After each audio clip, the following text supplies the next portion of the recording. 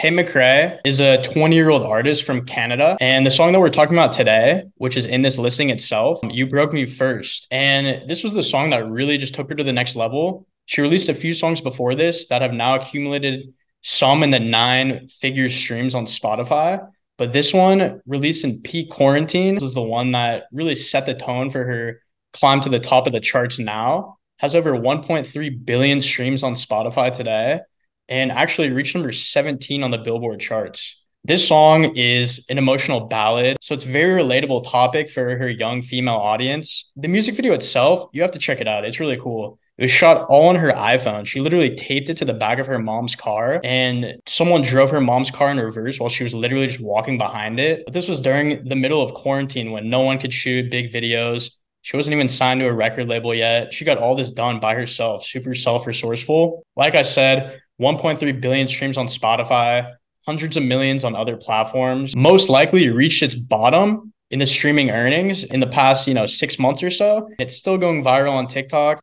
Now, Drew, you were saying that this song's about reached its its valley of earnings um, since it's reached its peak. You're right. When we look at the financials, quarter over quarter, year over year, we see the steady decline. We see the earnings shift from radio to streaming more. Again, exactly what we'd expect to happen with the catalog. Uh, and just in the most recent three quarters, we're beginning to see the up and down movement and fluctuations in earnings rather than a, a, a pure down shift. Uh, and that's when we start to determine whether or not we're in the quote unquote tail of the royalty earnings, when we start to see stable earnings period over period. Now, that's a great place to be at the acquisition point for a catalog, especially knowing what's going on, A, in the world as it relates to streaming, and B, in the world as it relates to the artist, right? So, first, streaming. Right. As everyone knows, streaming's growing. Spotify is getting into more and more people's hands. More people are getting smartphones, getting better access to music listening, which is how royalties are created. Just looking at some of the, you know, activity across the board on different platforms the past few months. From June to August 2023, I really think that is when it sort of hit its bottom across different platforms. Shazam's hit its bottom in February of 2023.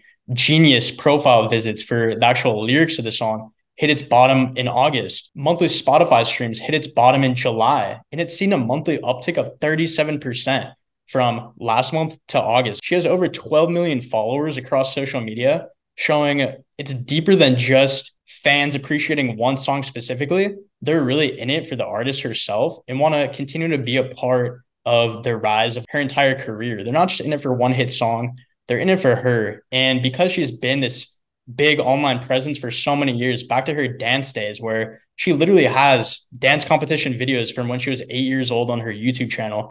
She was actually went to school at eight years old at one of the most prestigious ballet schools in the whole country of Canada she was doing YouTube since like a very young kid. So she grew up with her audience, which helped establish her when she started putting on music. She was actually in the show You th- So You Think You Can Dance back in 2017, earning a third place finish. And she first dropped her first original song on her YouTube channel and it racked up 40 million views in a short time period, which just set her on this remarkable trajectory.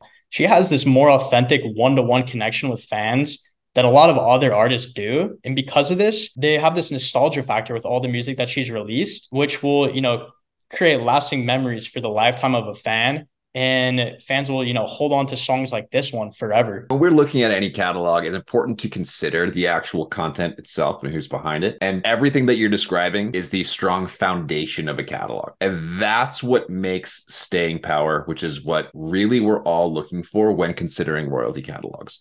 We want the consistency. We want the longevity. All of that comes from a strong fan base and that consistent listenership. And the only way that that's indoctrinated into a person is through that nostalgia, through that deeper connection, that authenticity that you're talking about. That's where that all begins. And that's where we as investors get to capitalize on that artist's growth and their success through listings like the one we have on Royalty Exchange right now, which again is like right at the peak of, hey, this is starting to settle. There's growth in the horizon. Let's take a closer look.